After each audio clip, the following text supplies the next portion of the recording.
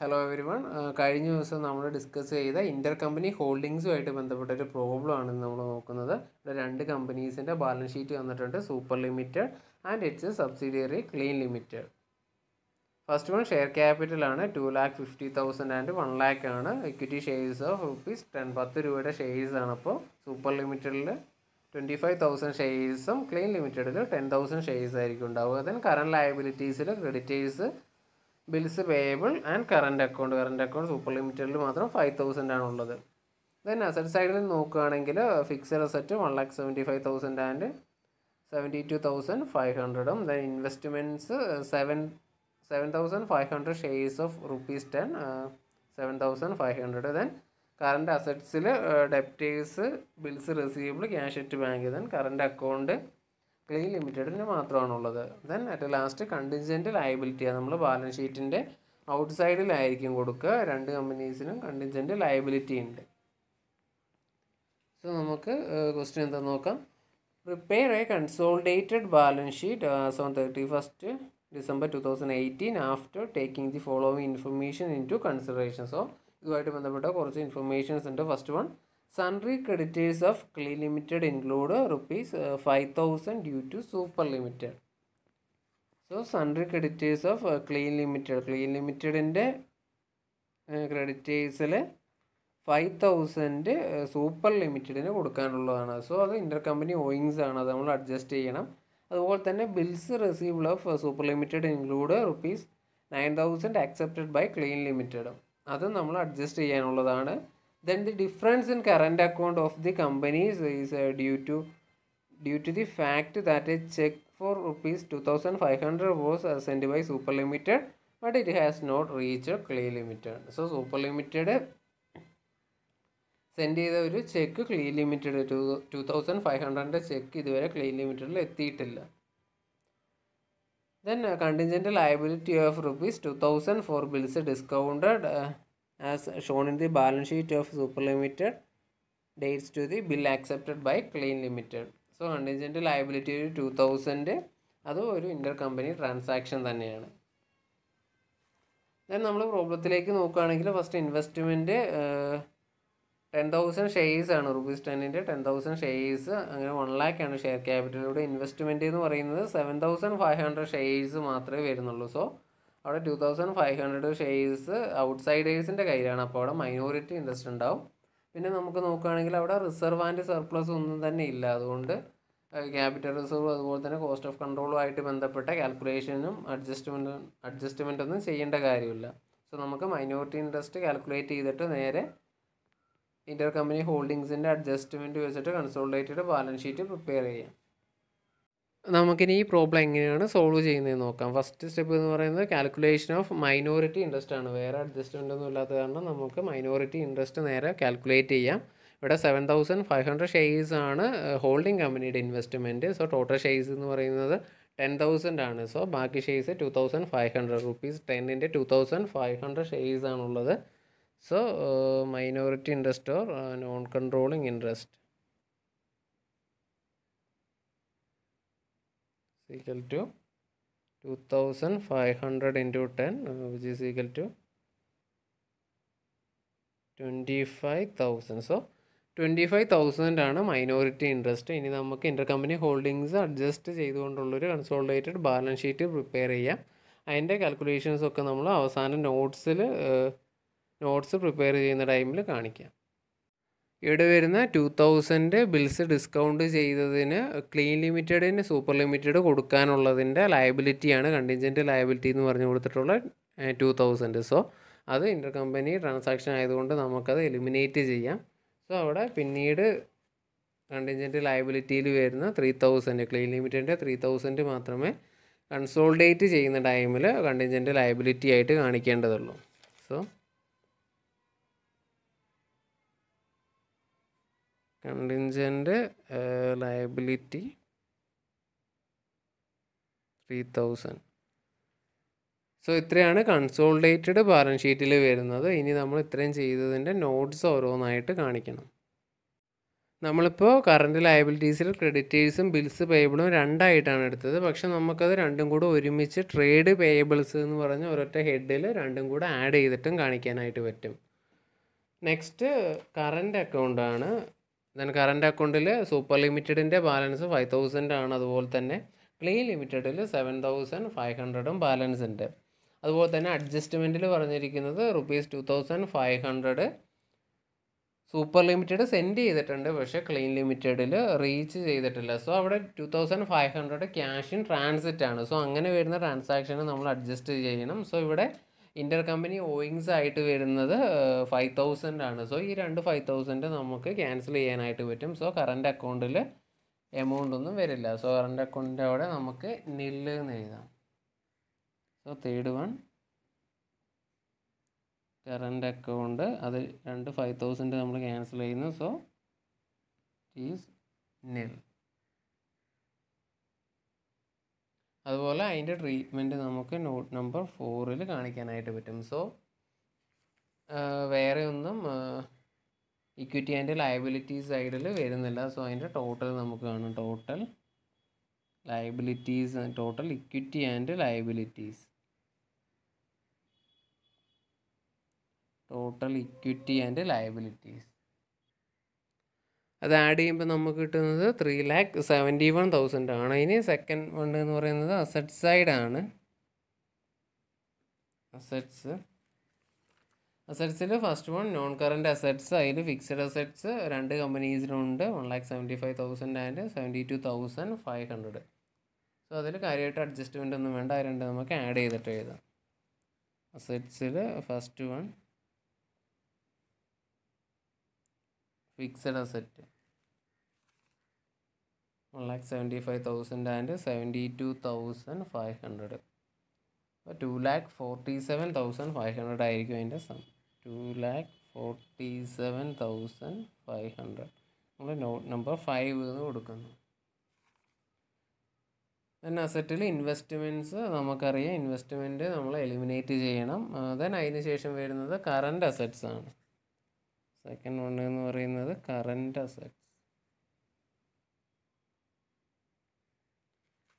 Current അസറ്റ്സിൽ debtors ആണ്. ഡെപ്റ്റേഴ്സിൽ നമുക്കറിയാം അവിടെയും adjustment mutual owings five thousand വരുന്നുണ്ട്. അപ്പോൾ ഫൈവ് തൗസൻഡ് നമ്മൾ രണ്ടും കൂടെ ആഡ് ചെയ്തിട്ട് ഡിഡക്റ്റ് ചെയ്യണം. സൂപ്പർ ലിമിറ്റഡിന്റെ ഫിഫ്റ്റി തൗസൻഡ് ആൻഡ് ക്ലീൻ ലിമിറ്റഡിന്റെ ഫോർട്ടി തൗസൻഡ് ആണ് വരുന്നത്. സോ അത് രണ്ട് നമ്മൾ ആഡ് ചെയ്തിട്ട് അതിൽ നിന്ന് ഫൈവ് തൗസൻഡ് ഡിഡക്റ്റ് ചെയ്യുന്നു. അപ്പോൾ ninety thousand minus five thousand that is eighty five thousand ആണ് ഡെപ്റ്റേഴ്സ് വരിക. സോ അതിൽ first one debtors number six എന്ന് കൊടുക്കുന്നു. എയ്റ്റി ഫൈവ് തൗസൻഡ് ആണ് നമുക്ക് ഡെപ്റ്റേഴ്സ് വരിക. നെക്സ്റ്റ് ബിൽസ് റിസീവബിൾ ആണ്. ബിൽസ് റിസീവബിൾ ബിൽസ് റെസീവബിൾ നോക്കുകയാണെങ്കിൽ ട്വന്റി തൗസൻഡും ടെൻ തൗസൻഡും ആണുള്ളത്. അതുപോലെ തന്നെ അഡ്ജസ്റ്റ്മെന്റിൽ ഒരു നയൻ നയൻ തൗസൻഡ് വരുന്നുണ്ട്. അത് രണ്ടും ആഡ് ചെയ്തിട്ട് നയൻ തൗസൻഡ് ഡിഡക്റ്റ് ചെയ്യുക. അപ്പോൾ തേർട്ടി തൗസൻഡിൽ നിന്ന് നയൻ തൗസൻഡ് പോയിട്ടുണ്ടെങ്കിൽ ട്വന്റി വൺ തൗസൻഡ് ആയിരിക്കും ബിൽസ് റെസീവബിൾ വരിക. അതുപോലെ അതിന് നമ്മൾ നോട്ട് നമ്പർ സെവൻ കൊടുക്കുന്നു. So next cash at bank ആണ്. അതിൽ കാര്യമായിട്ട് അഡ്ജസ്റ്റ്മെന്റ് ഒന്നുമില്ല. ടെൻ തൗസൻഡും ഫൈവ് തൗസൻഡും ആണ്. Cash at bank account number eight എന്ന് കൊടുക്കുന്നു ഫിഫ്റ്റീൻ തൗസൻഡ് ദെൻ കറന്റ് അക്കൗണ്ടിൽ നമുക്കൊരു സെവൻ തൗസൻഡ് ഫൈവ് ഹൺഡ്രഡ് ആണുള്ളത്. നമ്മൾ ഫൈവ് തൗസൻഡ് അഡ്ജസ്റ്റ് ചെയ്തു. ബാക്കി ടു തൗസൻഡ് ഫൈവ് ഹൺഡ്രഡ് എന്ന് പറയുന്നത് ആക്ച്വലി ക്യാഷ് ഇൻ ട്രാൻസിറ്റ് ആണ്. ക്യാഷ് ഇൻ ട്രാൻസിറ്റ് എന്ന് പറഞ്ഞാൽ നമുക്ക് കിട്ടാനുള്ളതാണ്. സോ അതൊരു അസറ്റാണ് സോ അത് നമുക്ക് അസറ്റ് സൈഡിൽ കാണിക്കാം. ക്യാഷ് ഇൻ ട്രാൻസിറ്റ് നമ്മൾ നയനിന്ന് കൊടുക്കാം. ടു തൗസൻഡ് ഫൈവ് ഹൺഡ്രഡ് ആണ്. അതിൽ ബാലൻസ് വരുന്ന amount two thousand five hundred ആണ്. ഇത്രയാണ് അസറ്റ് സൈഡിൽ വരുന്നത്. അതിൽ ഡെപ്റ്റേഴ്സും ബിൽസ് റിസീവബിളും നമുക്ക് ഒരുമിച്ച് വേണമെങ്കിൽ ട്രേഡ് റിസീവബിൾസ് എന്ന് പറഞ്ഞ് എഴുതാം. നമ്മൾ ക്രെഡിറ്റേഴ്സും ബിൽസ് പേയബിളും ട്രേഡ് പേയബിൾസ് എന്ന് പറഞ്ഞ് എഴുതുന്നത് പോലെ ഡെപ്റ്റേഴ്സിനെയും ബിൽസ് റിസീവബിളിനെയും ഒരുമിച്ച് ചേർത്തിട്ട് ട്രേഡ് റിസീവബിൾസ് എന്ന് നമുക്ക് എഴുതിയിട്ട് രണ്ടും കൂടെ ആഡ് ചെയ്ത് കാണിച്ചാൽ മതി. Three lakh seventy one thousand തന്നെയാണ് അസറ്റ് സൈഡിലും വരുന്നത്. ഇനി ലാസ്റ്റ് ഒരു ഐറ്റം കൂടിയുണ്ട്. കണ്ടിൻജന്റ് ലയബിലിറ്റി രണ്ട് കമ്പനിക്കും ഉണ്ട് ട്വന്റി ടു തൗസൻഡും തേർട്ടി തൗസൻഡും ആണ് അതിൽ അതിലൊരു അഡ്ജസ്റ്റ്മെന്റും വരുന്നുണ്ട്. Contingent liability of two thousand for bills discounted as shown in the balance sheet of Super Limited relates to a bill accepted by Clean Limited so അവിടെ ടു തൗസൻഡ് എന്നുള്ളത് ക്ലീൻ ലിമിറ്റഡിന്റെ ബില്ല് അക്സെപ്റ്റ് ചെയ്തതെന്ന് next consolidated balance ഷീറ്റിന്റെ preparation ആണ്. അതിൽ first one equities and ലയബിലിറ്റീസിൽ share holders fund super ലിമിറ്റഡിന്റെ two lakh fifty thousand ആണുള്ളത്.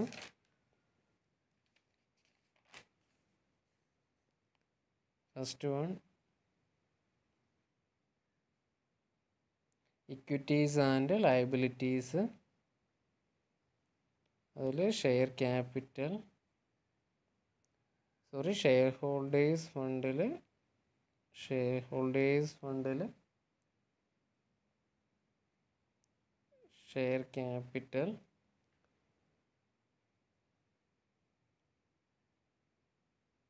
two lakh fifty thousand ആണ് അതിന് നമ്മൾ നോട്ട് നമ്പർ വണ്ണിൽ നിന്ന് കൊടുക്കുന്നു.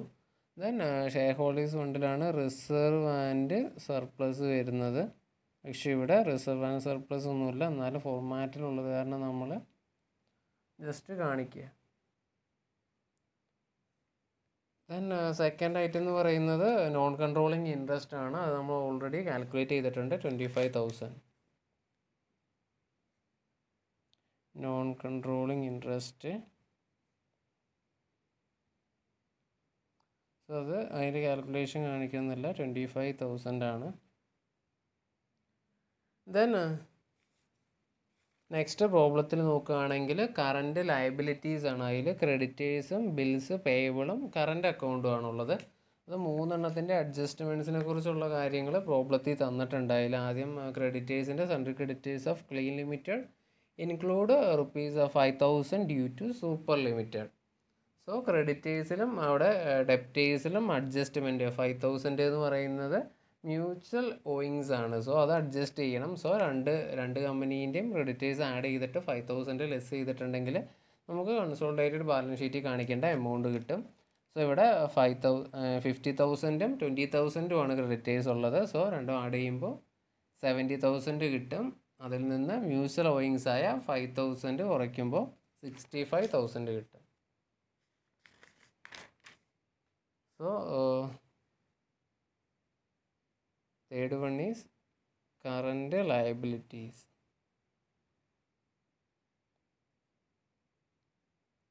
അതിൽ ഫസ്റ്റ് വൺ ക്രെഡിറ്റേഴ്സ് ആണ്. സിക്സ്റ്റി ഫൈവ് തൗസൻഡ് അത് നമ്മൾ നോട്ട് നമ്പർ ടൂന്ന് കൊടുക്കുന്നു. ദെൻ നെക്സ്റ്റ് ബിൽസ് പേയബിൾ ആണ്. സോ ബിൽസ് പേയബിളിന്റെ ഒരു അഡ്ജസ്റ്റ്മെന്റ് നമ്മളോട് പറഞ്ഞിട്ടുണ്ട്. അതിൽ bills receivable of super limited include rupees nine thousand accepted by clean limited അതിൽ നയൻ തൗസൻഡ് ക്ലീൻ ലിമിറ്റഡ് ആണ് അക്സെപ്റ്റ് ചെയ്തിട്ടുള്ളത്. സോ ആ നയൻ തൗസൻഡ് നമ്മൾ അതിൽ നിന്ന് ലെസ് ചെയ്ത് കാണിക്കണം. സോ അവിടെ ബിൽസ് പേയബിൾ എന്നുള്ളത് ട്വന്റി ഫൈവ് തൗസൻഡും ഫിഫ്റ്റീൻ തൗസൻഡും ആണുള്ളത് സോ ടോട്ടൽ ഫോർട്ടി തൗസൻഡ് അതിൽ നിന്ന് നയൻ തൗസൻഡ് ലെസ് ചെയ്തിട്ടുണ്ടെങ്കിൽ തേർട്ടി വൺ തൗസൻഡ് ആയിരിക്കും കിട്ടുക.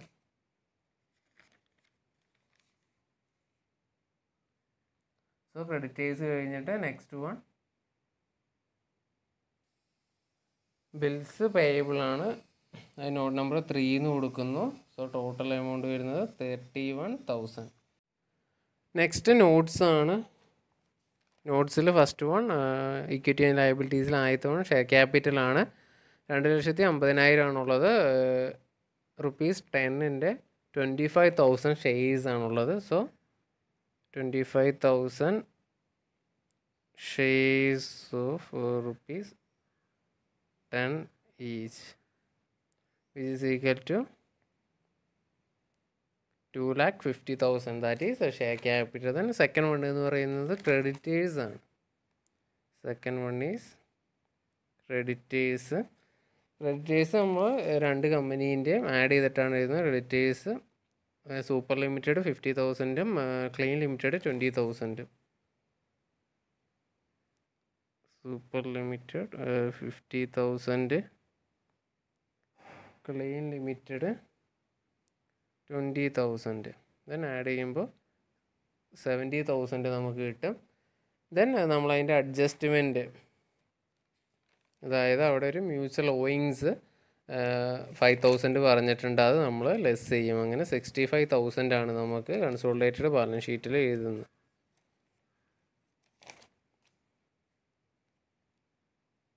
ലെസ് ന്യൂസ് ലോയിങ്സ് that is five thousand which is equal to sixty five thousand then third one എന്ന് പറയുന്നത് ബിൽസ് പേയബിൾ ആണ്. അതിനും അഡ്ജസ്റ്റ്മെന്റ് ഉണ്ട്. സോ നമ്മൾ രണ്ട് കമ്പനീന്റെയും കൂട്ടിയിട്ട് അഡ്ജസ്റ്റ്മെന്റിന്റെ എമൗണ്ട് കുറയ്ക്കുന്നു. ബ്ലിസ് പേയബിൾ സൂപ്പർ ലിമിറ്റഡിനും ഉണ്ട്. ക്ലീൻ ലിമിറ്റഡിനും ഉണ്ട്. സൂപ്പർ ലിമിറ്റഡ് ട്വന്റി ഫൈവ് തൗസൻഡും മറ്റേത് ഫിഫ്റ്റീൻ തൗസൻഡും അഡ്ജസ്റ്റ്മെന്റ് എന്ന് പറയുന്നത് നയൻ തൗസൻഡ് ആണ്. അത് നമ്മൾ ഡിഡക്റ്റ് ചെയ്യുന്നു. Twenty five thousand fifteen thousand so total is 40000 then less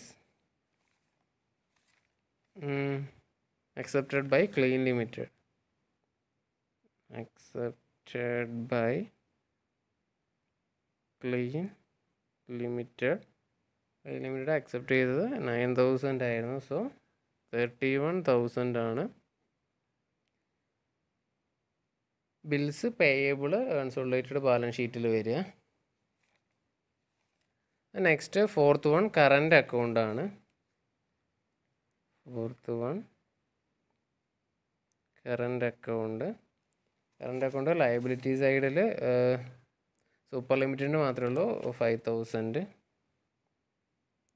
super limited five thousand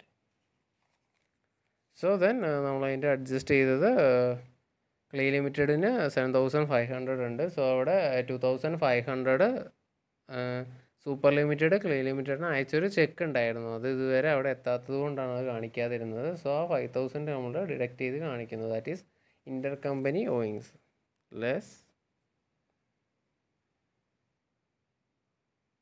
inter company owings that is five thousand so അവിടെ നമ്മൾ നെല്ല് എന്നായിരുന്നു സുള്ളേര് പറഞ്ഞ ഷീറ്റിൽ നെല്ല് എന്നായിരുന്നു നമ്മൾ കൊടുത്തിരുന്നത്.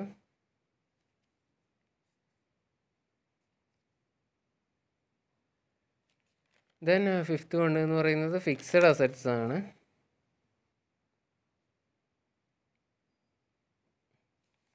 ഫിക്സഡ് അസറ്റ്സ് രണ്ട് കമ്പനിക്കും ഉണ്ട്. വൺ ലാക്ക് സെവന്റി ഫൈവ് തൗസൻഡും seventy two thousand five ഹൺഡ്രഡും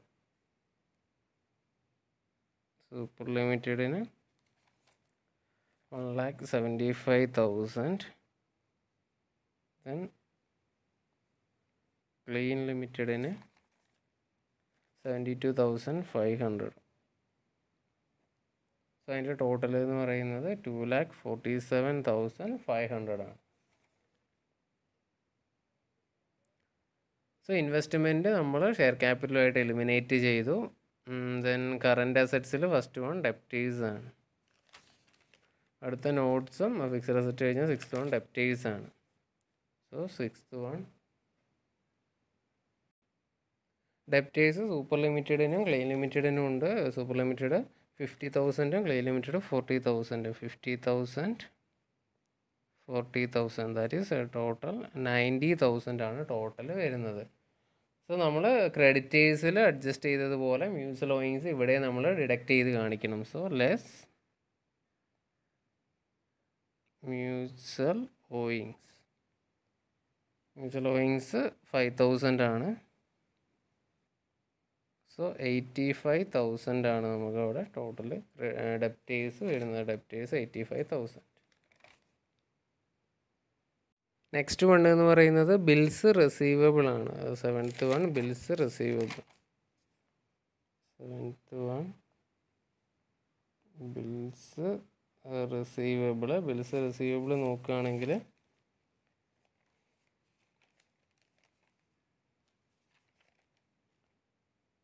twenty തൗസൻഡും ടെൻ തൗസൻഡും ആണുള്ളത്. അതിൽ അഡ്ജസ്റ്റ്മെന്റ് എന്ന് പറഞ്ഞാൽ accepted by clean limited clean limited accept ചെയ്തതുകൊണ്ട് അത് നമ്മൾ ലെസ് ചെയ്ത് ഇവിടെയും കാണിക്കണം.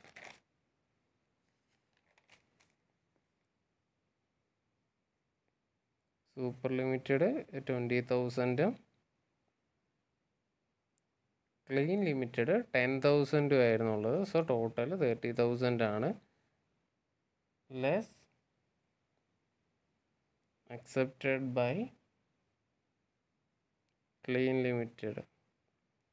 9000 that is twenty one thousand ആണ് ബിൽസ് പേയബിൾ എന്ന് പറഞ്ഞ് നമ്മൾ എഴുതിയിട്ടുള്ളത്. സോറി ബിൽസ് റെസീവബിൾ എന്ന് പറഞ്ഞ് നമ്മൾ എഴുതിയിട്ടുള്ളത്. Then next adjustment cash at bank ആണ്. Eighth one cash at bank so cash at bank എന്ന് പറയുമ്പോൾ രണ്ട് കമ്പനിക്കും ഉണ്ട്. ടെൻ തൗസൻഡും five തൗസൻഡും. Super limited ten thousand. Clean limited five thousand. So total is fifteen thousand. Fifteen thousand ആണ് നമ്മൾ എഴുതിയത്.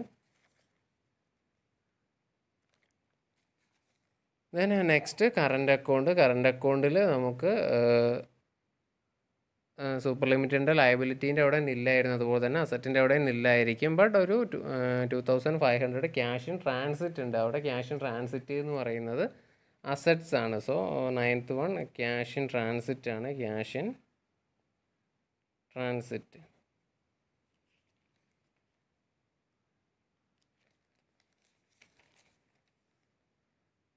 സോ അവിടെ സെവൻ തൗസൻഡ് ഫൈവ് ഹൺഡ്രഡും ഫൈവ് തൗസൻഡും ആണ് അത് തമ്മിലുള്ള ഡിഫറൻസ് ക്യാഷ് ഇൻ ട്രാൻസിറ്റ് എന്ന് പറഞ്ഞാൽ നമ്മുടെ അഡ്ജസ്റ്റ്മെന്റിൽ ഓൾറെഡി തന്നിട്ടുണ്ട്. ടു തൗസൻഡ് ഫൈവ് ഹൺഡ്രഡ് ആണ് ക്യാഷ് ഇൻ ട്രാൻസിറ്റ് എന്ന് ഓൾറെഡി നമുക്ക് തന്നിട്ടുണ്ട്. So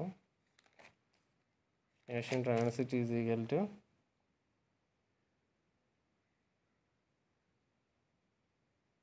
seven thousand five hundred minus five thousand equal to two thousand five hundred cash in transit എന്ന് പറയുന്നത് ടു തൗസൻഡ് ഫൈവ് ഹൺഡ്രഡ് ആണ്.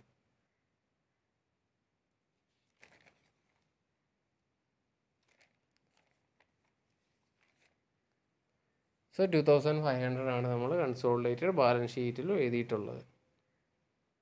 സോ പ്രോബ്ലം എല്ലാവർക്കും മനസ്സിലായി എന്ന് വിചാരിക്കുന്നു. Thank you